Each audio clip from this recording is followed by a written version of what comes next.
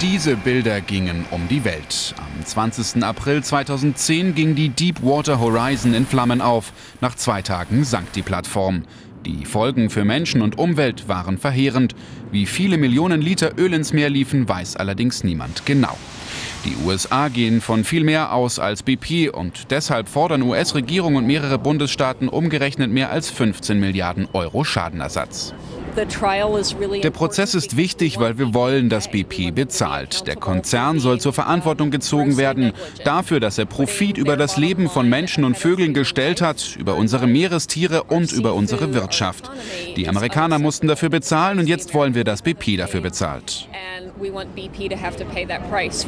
BP hält die Forderungen der Kläger für überzogen und verweist darauf, sich schon zur Zahlung von umgerechnet 30 Milliarden Euro verpflichtet zu haben.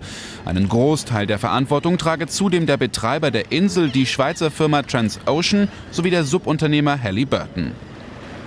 Trotzdem halten es Beobachter für möglich, dass sich BP und die USA auf eine Summe einigen, bevor ein Urteil fällt, um Monate oder gar jahrelange Gerichtsverhandlungen zu vermeiden.